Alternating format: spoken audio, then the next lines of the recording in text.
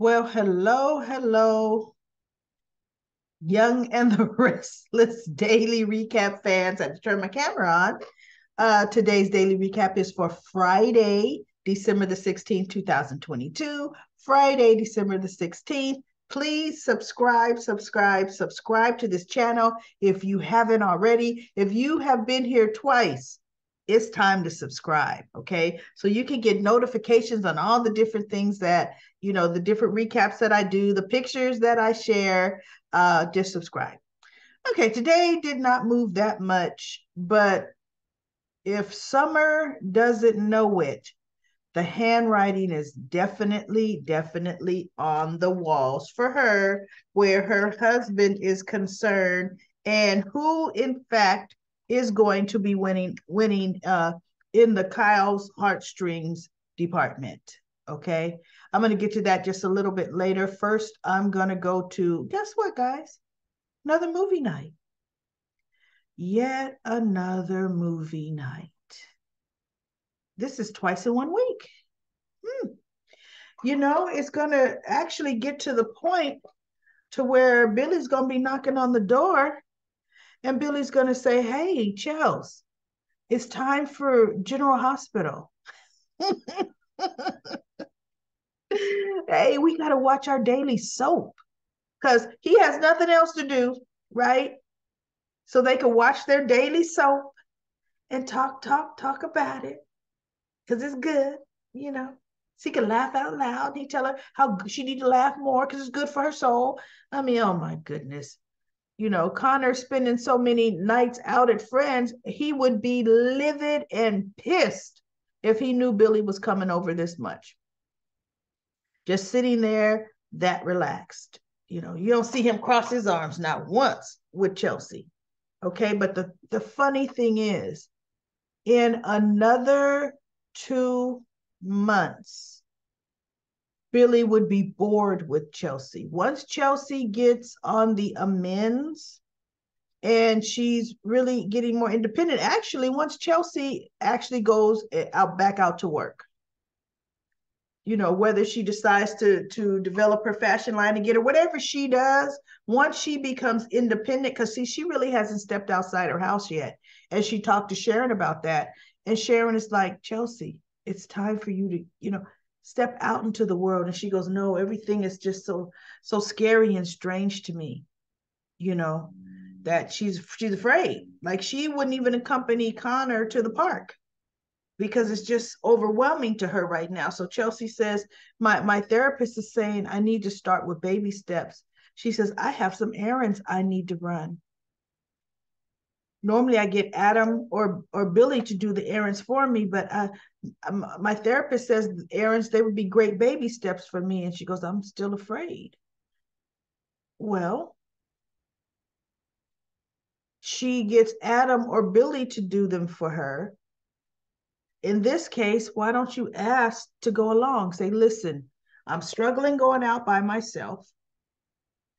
I need to go to Vons, Kroger, Walmart, Target. I need to go and pick up some stuff. Can you drive me? That will at least get her out in public with someone she knows as a security blanket. Or she could have even said, Sharon, perhaps if you have some free time, maybe you could accompany on my first errand. And Sharon will be like, hey, let's go now. She tell whoever her worker is at the Crimson, I mean, Crimson Lights, yeah. Hey, I'll be back in an hour. Come on, Chelsea, let's go. But that would at least get her out into the open air, into the sunlight. And, you know, so we'll see, you know, how those baby steps are going to start to unfold. But look, if Billy had his way, he would definitely uh, be, you know, monopolizing all her evenings. And then Adam shows up with some presents, right? For Connor. He goes, Look, I know it's early, but I wanted to get, you know, put, I'm not done, but I wanted to put some of these, bring some presents over. And so Billy stands up because he goes, Oh, hmm, I guess I could have called or should have called. And and Billy, Billy's like, oh, well, I'm leaving. Well, because the movie was over, right? Billy was on his way out anyway. So Chelsea's like, oh, no, no, you know, he's leaving. So Billy walks out the door and Adam comes in with these bags and he goes, I'm not done, but I thought maybe you could put them in. She goes, No, that's a great idea. Connor will love it. Right? She was happy about it. And Billy goes downstairs and um he's leaning against the table. See, like this. And Lily walks in. And they sit down at a booth and she goes, what's going on? How's Chelsea? Oh, she's fine. We were watching a movie, and I'm thinking, mm, okay, right? Uh, watching a movie, we were doing her laundry. I was helping her clean the oven. Uh, you know, anyway. Um, and you know, but then Adam showed up. And and get this, Billy says Adam shows showed up and oozed misery or oozed his misery. And I just don't think that's good for Chelsea right now. And Lily looked at him and she said, um, or do you think, you know, sounds like you think you're the only one good for Chelsea right now? And he looked at her like, what's that? Huh? And when he said Adam showed up and oozed misery, I'm sorry, fellow recap fans, did you get that vibe from Adam at all? With his bags of Christmas presents in both hands coming in, presents for his son, right? Probably got one in there for Chelsea too. Even when he saw Billy sitting there, he didn't, he just says, Oh, he looked like, wow, again, but he didn't say anything about it. He didn't even snipe at Billy. He didn't even scowl at Billy as Billy walked by. He didn't. He walked on in, Chelsea closed the door, and they're talking about presents for Connor. So I was like, where on earth, in what virtual reality did Adam ooze any kind of misery on Chelsea? See, that right there that right there is telling you how wrong Billy is. That right there.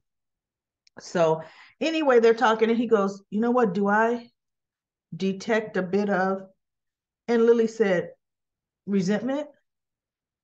Yeah, a little. Yeah. She was honest. She goes, Yeah, mm-hmm, a little. And then they got to talking, and she was saying that, you know, Billy, they can't fix this on their own. And she doesn't have the time or the energy to try to fix it on their own. She says, I feel we need to go to couples counseling, you know, to help somebody give us some skills to work, to help us, you know, get back to each other. You know, how do you feel about that? And Billy looked at her and he honestly said, You know what, Lily? After the holidays, yes, I'm agreeable to it. And I was like, okay. Billy wants to work on it. Okay, I, I was liking his answer. And she reached across the table and she grabbed his hands and she said, Thank you. You know, thank you. Now, if when they make their couple scheduling sessions, he says, Ooh, ooh, Lily, goodness, Pinocchio's coming on TV and Chelsea and I got movie night. Oh no, that no no no. That's no good for me. Or oh, mm, I wanted to take Chelsea to the park on this afternoon that you got scheduled for this session. That's not going to be good for me. See, we'll see. He said yes, but we'll see if they actually make it there. We'll see. You know, that's my thing is okay, you said yes, but let's see if you actually make it there. Um now we have, let's see, this, oh, good cop, bad cop. Good cop, bad cop. That's what Kyle and Jack were supposed to be. Kyle, Jack's supposed to be the voice of reason. Kyle's supposed to be the hothead because my mommy, my mommy's gone out of town. You ran my mommy away. I'm I'm gonna rush you. Now we're talking a criminal. They don't know if he has a gun. They don't know none of that. And the funny thing is, Stark's demeanor is, are these Keystone cops thinking I'm buying this act? because the to me the acting was bad. No, no, no, Kyle. Now I told you this is not this is not what we're here for. No, no, calm down. This is uh, obviously this has upset our whole family, my son in particular. I'm thinking, oh my God. You know, my mother has gone. She couldn't, she did not even say goodbye. Well, doggone it. Your mother may have left town, but now you know she's not dead. Am I supposed to believe she's not going to call you? See what? No, you guys. And he and Stark looked at him and said, "How do I know you guys haven't stashed her anywhere?" Hmm. He has. This is not his first go round. This is a man that has been able to smuggle, with the help of Dee Dee, cash internationally and launder it. What makes you think he's that stupid? Really? And so Jack's like, you turned down my offer of of of paying you off, paying you the cash so you could leave before, but now that there's no chance of getting it from Diane, she's gone. I want to extend this offer again because me and my family need to get back to normal. Hmm. And he said, Oh, you all want to pay me off to get me out of town. So what, Diane could come right back? You know? And then when Jack said, So me and my family could get back to normal, I said, Well, back to normal would be with Diane there, right? But in reality, if all Stark wants is his money, and he is a criminal, he really could care less where he gets it from. Because see, now he could easily look at Jack and say, This is how much she stole, but this is the amount it's going to take to get me to take the money and leave town and double it. Double it. Is Diane worth that to the Abbotts? Double it. Any criminal would double it and leave. Especially now that he knows Phyllis um, told the truth that, look, I have no proof that she was helping the feds at all. I made that up. I think she did, but I don't know. Okay. So we'll see where it goes with with Stark. If he insists he's staying around, then it just hasn't come out that Diane is his wife. Oh no, I'm coming to get what's mine, and you mine, chick.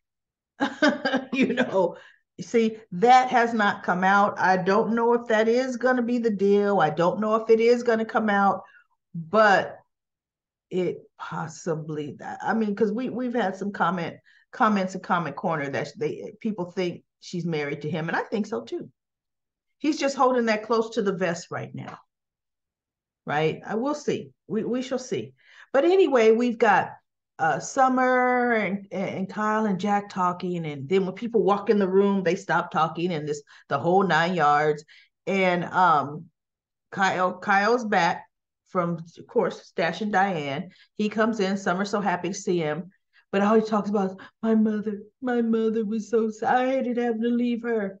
Now you have a four year old at home upset about his DD and now daddy at Christmas time is on on vacation on, on a business trip. You would think my first concern is going to be making sure my son is okay and happy, right? Uh, that's what I'm going to do, make sure he's okay. But anyway, they go come back from Stark because Stark said, I'll think about it. Like, I'm, I'll think about it. So they get home and they're like, How do you think it went? And Jack says, Well, you played your part well. And I'm thinking, Oh my God, so transparent. You both are so transparent and out of your league with this criminal, completely out of their league. And so, um, but while they were gone, Summer went to the office. runs into Phyllis packing up stuff. She goes, Mom, you're fired. What are you doing here? She goes, I'm clearing out my office, Summer. If you think I'm going to steal something, have security accompany me, but I'm clearing out my office. Now, realistically, that's Marchetti's office, right? What Phyllis would have to put in her box Marchetti's property because I was watching her pack stuff. These are all files, right? These weren't her ledgers from the Grand Phoenix, you know. She this wasn't her personal stuff. Yeah, she Phyllis was not packing up her stapler, even though that's still company property. She wasn't packing up her personal plants. She wasn't packing up her. She was legitimately loading this box full of company files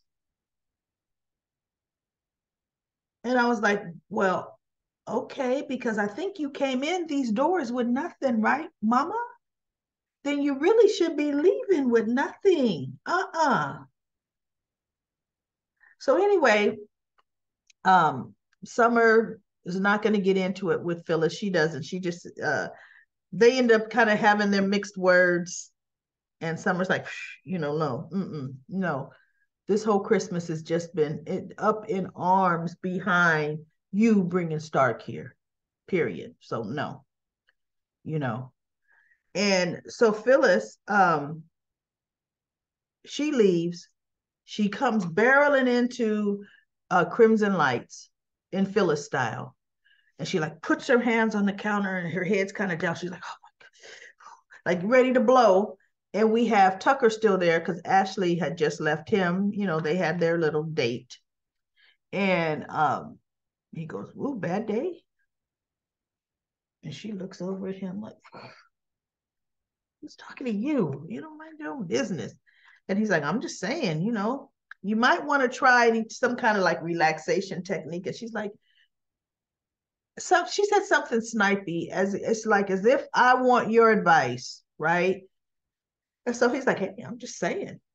And so then Daniel walks into the coffee house. So Daniel walks in because he's happy. Earlier that day, he had a meeting with Lily and Devon, and they gave him the official green light. They're going to move on his platform. They're going to go, you know, with the whole project. Um, and they're like, "Do you have a, a team in place so that you all can can get running?" And he goes, "Well, not yet because I couldn't get a team in place when I didn't have a yes from which made sense to me. How are you going to have a true team when Chancellor Winters has not had not accepted the venture yet? So he goes, No, I will have a team and I will be up to speed now that we have a go. Right. And so they're like, well, we're we're supporting you 100%. We're behind you. We're, you know, whatever resources we need to offer with this because we consider this to be a lucrative deal.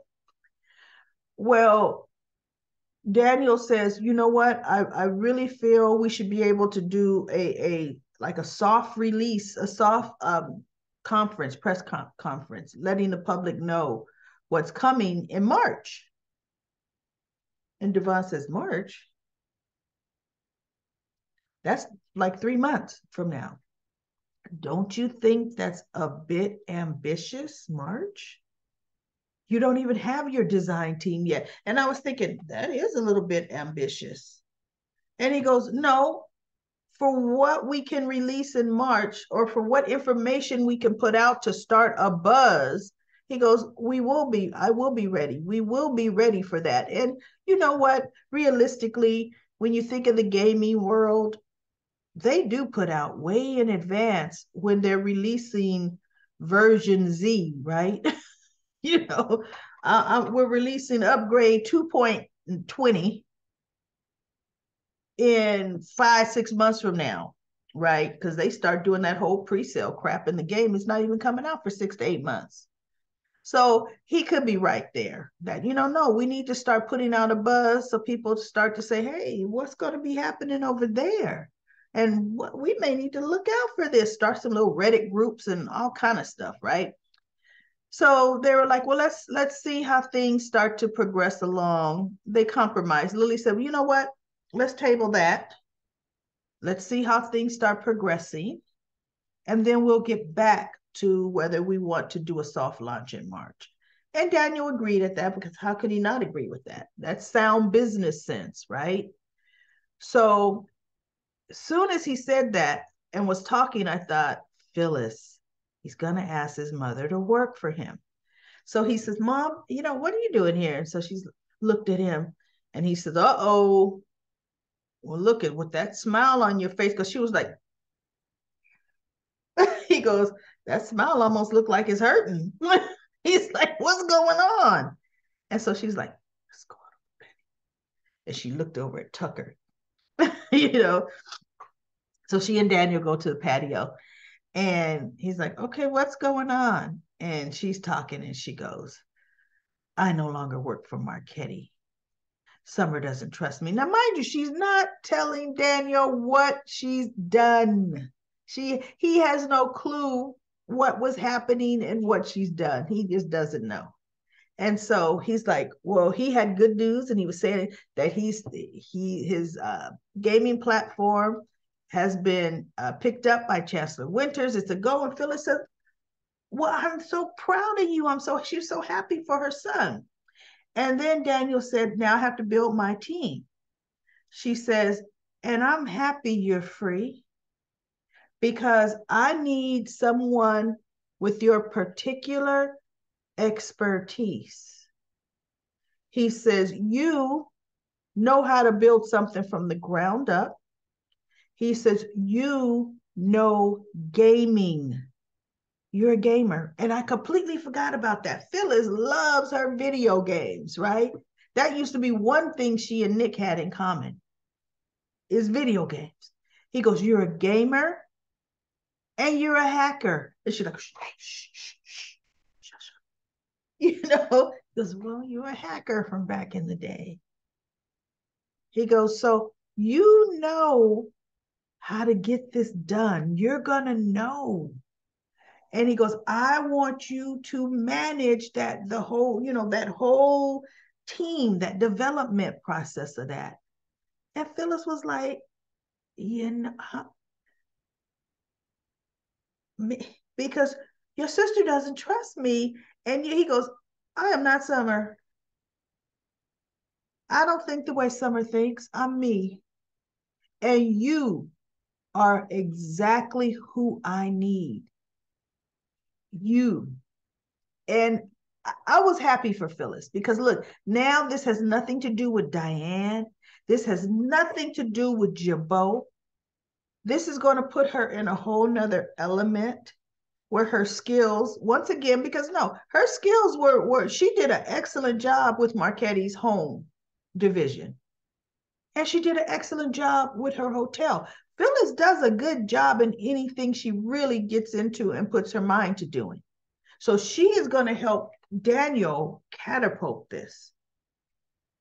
And see, watch, as Summer realizes she is on the outs, that her her uh, Abbott uh, involvement is going to be need to know she's going to start feeling like an outcast and an outsider because Kyle's going to make her feel that way. And Diane, once she's back, is going to snub it in her nose and make her feel that way.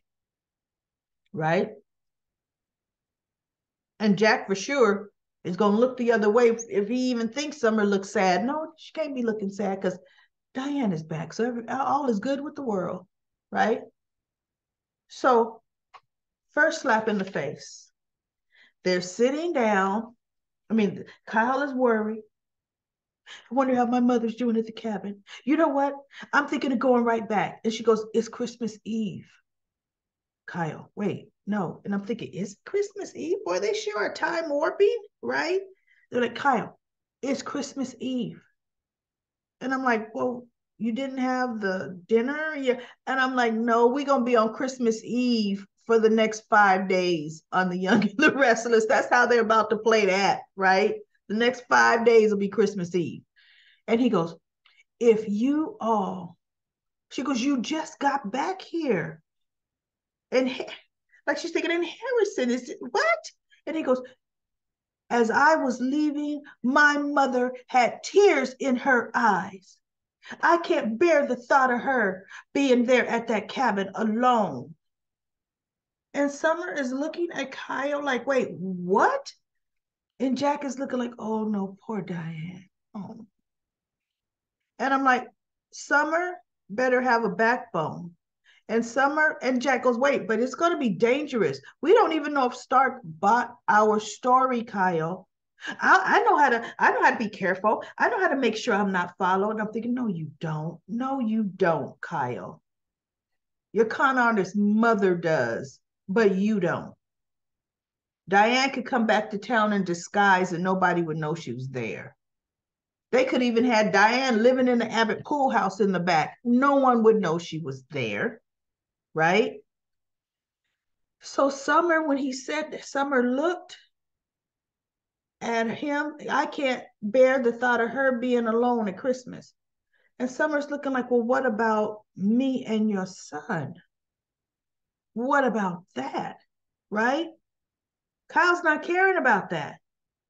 Matter of fact, Kyle might slap Summer in the face and say, you know what? I'll take Harrison with me. So me, him, and my mom can have Christmas together. Watch, watch. Because he sure didn't say, no, we're going to go for an Abbott family Christmas. You know, they could have easily booked a flight anywhere. Next, they could have booked a flight to New York and then drove to the cabin. They could have done a whole, you know, but no, Kyle's going to go by himself. And I looked at that and I thought, you want to know what's going to happen? Jack's going to say, no, you know what, Kyle? You need to be here for Christmas for Harrison. You need that. I'll go to the cabin so Diane won't be alone. I'll go look at, I'll go be there for her. Now, mind you, can't Jack be followed too? I mean, whatever, you guys. Fine, whatever, you know. And if Jack is the one that goes, that's where him and Diane are going to sleep together for the first time, right there at that cabin right there. If Kyle goes, that's going to be the beginning of the end of his marriage to Summer because he's going to choose the most important holiday of the year to be with Diane over his wife and son if he doesn't take the boy with him. Summer's already on the outs with her mother. It's not like what would she even do in the Abbott family house without Kyle and Harrison or without even Kyle? So yeah, then she's going to start to to think about some of the things that her mother had been saying to her in her ears because she said, "Let me tell you something. What, what Diane is going to do? She's going to worm her way into Kyle's heart, and then she's going to slowly put a wedge summer between you and Kyle. She's going to make situations where Kyle has to choose. And Summer's like, Kyle will always choose me. She goes, she's going to make situations where Kyle has to choose, and Kyle's going to choose her. Phyllis told Summer that. Summer's like, please, me and Kyle, look, no, uh-uh, that ain't happening. It's going to happen. It's already happening. They're already excluding Summer from a lot of the information already. Already let Diane take Summer to the emergency room, go accompany him versus his wife, uh, little Harrison's mother. You know, to Harrison to the recovery room. Already, it's happening right in front of her face. The world is revolving around Diane. And it has since the day she got back in town. So face it, face it, Supergirl. You're gonna be happy and quite alone. And then what are you gonna say? Because your mother is happy to say, I told you so. But if if Kyle wants to do the right thing, he'll say, you know what? Let's all go. Me, you will tell the family we're gonna go to New York for Christmas and then they just go to the cabin. But we'll see. That's that's too much like right, right? That's too much like putting your actual family, your wife and child first. Because they should be. Mother, yes, that's your mama, but she's second. It's wife and child, really child and wife, child and wife, unless that's you both of your your child, then it's wife and child. But anyway, um, so anyway, let's go to comment corner. Comment corner. We only have two, or really 1.5. Medora says Sally is trying too hard to prove she's moved on. Glad Adam didn't uh, do the jealous game. I'm so happy too. Adam act like he wasn't even phased. And she's like, well, okay. And I'm thinking, nah. He's like, I'm happy for you, Sally. I'm happy for you. And then Robin says, Adam agreed with Sally that after their last uh, sexual encounter, it is over. Glad they are moving past this relationship. So, me too, because once Adam finds anyone else, anyone else, then Sally's going to be doing double takes. Like, case in point, and this is who they need to need to to temporarily mix together adam and audra now audra's not mama material as far as stepmama material for connor but Ad, uh, audra uh, will be a good stopgap a good gap relationship until adam gets into another one right because what audra would be doing is trying to make noah jealous really so whatever. But Sally would look at Audra because Audra is a little bombshell. Gorgeous, curvy, shapely, confidence for days. See, Sally can stand up on her own, but you could tell Audra is a hurricane. She's conniving. She's devious, underhanded. She's a good match for Sally perfect match for Sally. And Audra would have fun doing it. So I'm hoping because Adam would actually have fun watching it. Adam would just be loving what Audra is going to bring to the table. So if here's the deal, everybody. If we see, because see, Adam and Audra have never crossed paths yet, right? if we see her come into society and sit at that bar, mm, or she's in Noah's club sitting in a corner and Adam comes in, they're going to put those two together. I really believe it'll be more like a society, a society thing at the bar. You notice nobody goes to the Grand Phoenix anymore at the bar. Remember, everybody used to be coming to Phyllis's bar, right? Mm-mm. Nobody, nobody. So, or Audra comes into Crimson a lot. Maybe Adam will accidentally bump into her. Oops, I'm sorry, sorry, miss. Spilled spilled my coffee. Sorry. Somehow, if they put them together two times in one week, two times, they're gonna be they're gonna be a couple. That's just the way soaps are. They got to make all kind of plays. Oh, oh, bumped it. Oh, I bumped it. Yeah.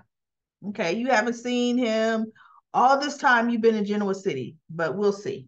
So anyway, everybody, that's it. That's it for Comment Corner on The Young and the Restless. I will be back on Monday. Let's see what's going to happen. I think it'll probably be a short, uh, it shouldn't be a short week because Christmas is next Sunday. So it should be a full week, but we don't know how taping went. Um, but everybody have a phenomenal, phenomenal weekend.